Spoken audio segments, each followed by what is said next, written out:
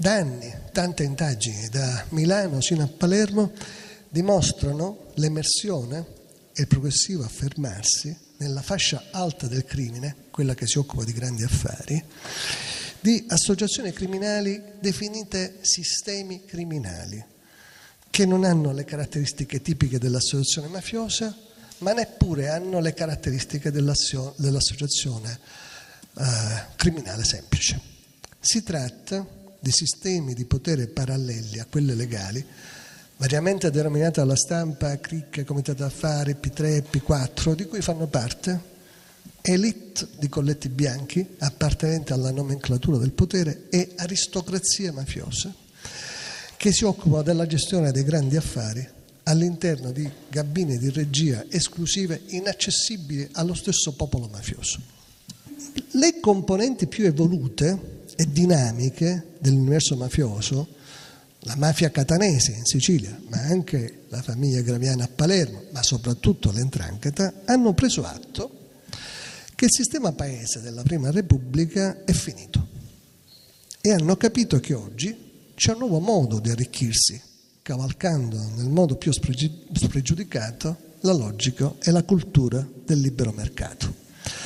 Ancora una volta le ragioni sono di carattere macroeconomico e vanno ben al di là dell'ambito locale, perché a seguito della globalizzazione e della creazione di un unico grande mercato mondiale delle merci, a seguito della crescita del reddito pro capite dei paesi emergenti, dei paesi dell'est che prima erano esclusi dall'economia di mercato, è esploso in tutto il mondo, in modo esponenziale una domanda mondiale alimentata da milioni e milioni di persone di beni e servizi illegali prodotti e commercializzati alle mani. Ma questo straordinario successo planetario della uh, mafia mercatista non si alimenta soltanto di beni e servizi illegali richiesti da milioni di persone, virgolette, normali si alimenta anche di servizi illegali che proviene da un elevatissimo numero di imprenditori e operatori economici in Italia e all'estero, i quali chiedono alle mafie servizi e prestazioni che servono per abbattere i costi di produzione, per elevare i margini di profitto, per acquisire margini di competitività in un mercato in cui c'è una selezione darwiniana della specie che espelle inesorabilmente i più deboli. La terza evoluzione della mafia rispetto alla Prima Repubblica è quello del rapporto con la corruzione. Sappiamo tutti, uno dei, mo- dei, motivi per cui la violenza mafiosa va diminuendo sempre più è non solo perché prevale la mafia mercatista, ma anche perché non c'è più bisogno di sparare a nessuno, perché corrompe tutti quanti. La corruzione è diventata il terreno privilegiato per la celebrazione di mille matrimoni di interessi tra colletti bianchi e mafiosi, dove si fanno affari su affari. Ma anche, eh, tanto che ormai si parla di mafio-corruzione, non si riesce più a distinguere tra cosa è mafia e cosa è corruzione. Ma c'è una novità rispetto alla Prima Repubblica che è molto interessante. Vedete, nella Prima Repubblica la corruzione, il rapporto tra corruzione e mafia era, tra virgolette, democratico. Cosa vuol dire? La spesa pubblica era una risorsa potenzialmente limitata, era spalmata orizzontalmente e verticalmente su tutto il circuito politico istituzionale. Qualsiasi sindaco di piccolo paese, presidente della provincia, qualsiasi presidente di ente territoriale era stazione appaltante, aveva soldi da spendere e qualsiasi mafioso di piccolo, medio, alto rango poteva interfacciarsi con l'amministratore pubblico che gestiva i cordoni della borsa. Quindi una corruzione democratica. Oggi le cose sono cambiate, perché come dicevo abbiamo una riduzione progressiva e strutturale della spesa pubblica, gli enti locali sono ridotti in condizioni tali che devono tagliare le spese sociali essenziali, abbiamo una verticalizzazione dei processi decisionali della spesa. Pensiamo al caso Consep, dove abbiamo una sola stazione appaltante che gestisce appalti di miliardi di euro. Abbiamo una cresciuta complessità degli iter di spesa, pensiamo a quanto sono complicate le procedure di erogazione dei fondi europei. Tutto questo ha ridotto da una parte la torta da dividere e ha creato un collo di bottiglia. Per cui mentre prima la torta era per tutti, oggi la torta è riservata soltanto delle ristrette elite.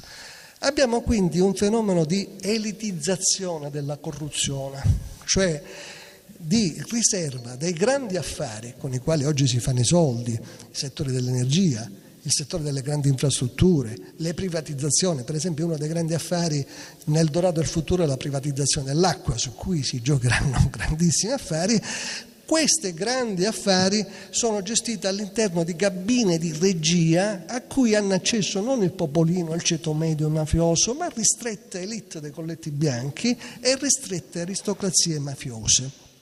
Nel mondo mafioso si registra una differenziazione organizzativa evolutiva che è molto interessante e che riserva l'accesso a queste club esclusive a queste ristrette cabine di regia soltanto ad alcune elite mafiose, a un selezionato numero di capi che hanno una doppia militanza.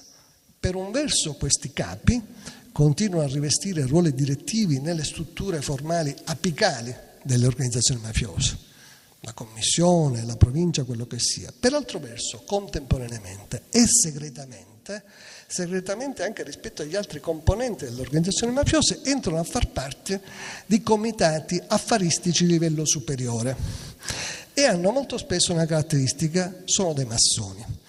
Si tratta di quelli che vengono chiamati sistemi criminali, questi comitati di affari di cui fanno parte l'ite dei colletti bianchi e l'ite mafiosi, si tratta di network di potere, che sono, come dicevo prima, variamente denominate dalla stampa, comitati di affari, cricche, P3, P4, di cui fanno parte soggetti che appartengono a mondi diversi. Il politico, il pubblico amministratore, l'imprenditore, il finanziere, il lobbista, il colletto bianco delle mafie, i quali in posizione di pari ordinazione mettono in sinergia le diverse risorse di cui dispongono, potere di influenza politica, rete relazionali, posizioni strategiche nel circuito istituzionale e se capitali e se occorre violenza, nel comune scopo di colonizzare progressivamente e occultamente interi comparti economici e condurre in affari, in porto affari complessi che richiedono competenze multilivello. Si tratta quindi di una nuova soggettività criminale che eh, nasce dalla fusione di elite di colletti bianchi e elite mafiosi superiori. Ed è estremamente interessante il fatto che questo fenomeno ormai ha avuto un accertamento in sede giudiziaria, con ordinanze di custodia cautelare e con sentenze definitive. Io vi voglio leggere una intercettazione ambientale di un processo in Calabria in cui uno di questi supercapi di questi che entrano a far parte di queste strutture superiori, la Santa si chiama in Calabria, parla con un altro supercapo e dice che l'entrancata, così come la conosce l'opinione pubblica, è finita, perché in realtà ormai il potere viene gestito da elite superiori. Queste sono le parole di questo supercapo della mafia, massone e componente delle strutture superiori di cui vi parlavo.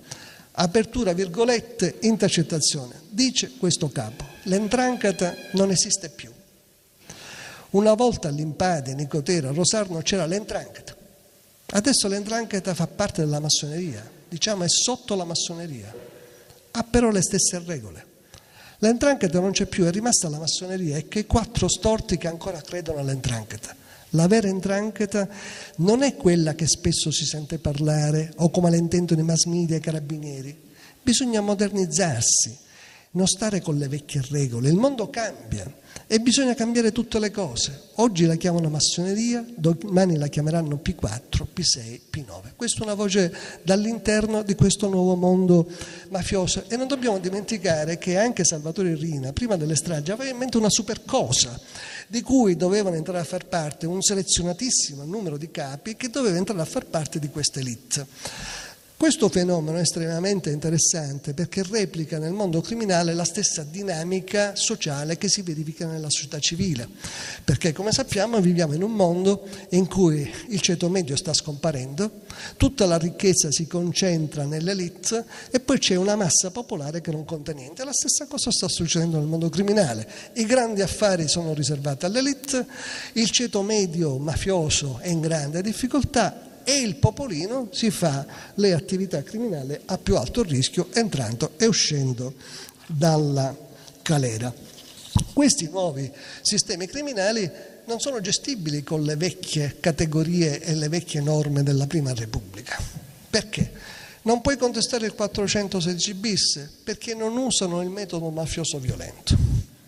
Non puoi contestare il 416, l'associazione a delinquere semplice, perché l'associazione a delinquere semplice serve per commettere due, tre, quattro reati. Questi invece hanno uno scopo di colonizzare progressivamente interi comparti dell'economia, creando le strutture di potere. E quindi spesso i magistrati contestano contemporaneamente il 416 bis, il 416, l'associazione segreta della legge Anselmi. In realtà il fatto è che ci troviamo dinanzi a un mutante, a una nuova forma criminale che nasce da un nuovo modo di essere il potere. Io qui concludo, mi torna in mente un dialogo off records che ho avuto con uno importante capomafia in carcere canadese alla fine di un interrogatorio. Mi diceva questo capomafia, vede dottore, il mondo è cambiato. Prima vivevamo tutti in un tempo in cui eh, la politica controllava l'economia. Oggi è l'economia che governa la politica. Sono i mercati che dettano l'agenda politica dei governi e noi siamo il cuore nero dell'economia, ma sempre economia siamo. E quindi se tutto quello che ho detto ha una sua valenza, questo ci fa comprendere come oggi il contrasto alla mafia e ai poteri criminali non può assolutamente limitarsi, come era la Prima Repubblica, alla, risposta penale. La battaglia è globale è multilivello e si combatte su tutti i fronti e uno dei fronti cruciali consiste nella salvaguardia e nel ripristino della democrazia politica contro lo strapotere dei grandi poteri economici e dei poteri finanziari, di cui le mafie mercatiste sono diventate una componente importante e strutturale. La battaglia consiste nel creare istituzioni nazionali e sovranazionali che consentono ai popoli di riappropriarsi del potere di decidere sul proprio destino, di ristabilire il controllo della politica sull'economia.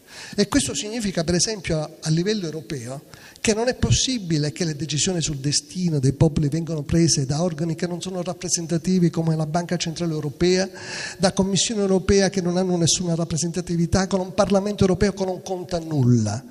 Occorre creare lo Stato di diritto anche in Europa creare un Parlamento europeo che sia espressione della volontà dei popoli, che abbia un controllo sui direttivi e sui governi europei, che renda trasparente le decisioni che riguardano le vite dei popoli. Occorre creare insomma una democrazia politica in Italia e in Europa che dia vita a una società costruita sulla pietra angolare del valore della dignità degli esseri umani. Una società dunque completamente alternativa a quella incentrata soltanto sul valore del dio denaro che riduce gli esseri umani a merce di scambio e che sognano i grandi capi della mafia, i capi dei sistemi criminali e dei potentati economici che aspirano a governare le nostre vite. La legalità prima era quella che ti garantiva i diritti, che ti dava un lavoro, che ti garantiva dignità sociale.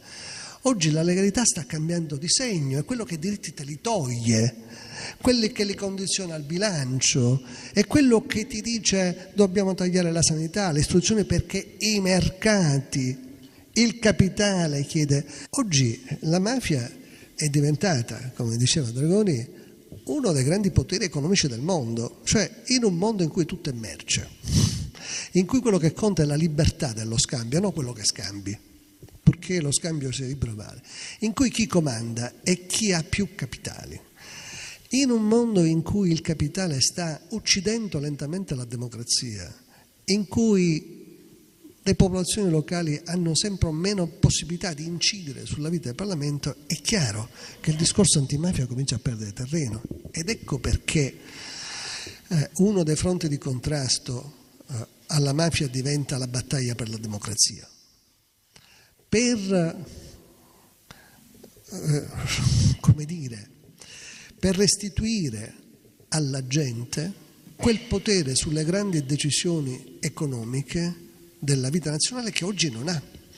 Perché oggi le grandi decisioni sulla politica economica non vengono prese dal Parlamento, non vengono prese dal governo, vengono prese dalla Commissione europea, dalla Banca Centrale Europea, dove ci sono persone che sono espressione delle grandi oligarchie finanziarie attraverso percorsi decisionali che non sono trasparenti, vogliono le privatizzazioni, vogliono lo smantellamento della democrazia ed è chiaro che in un panorama sociale di questo genere eh, il contrasto alla mafia diventa parte di un contrasto molto più grande.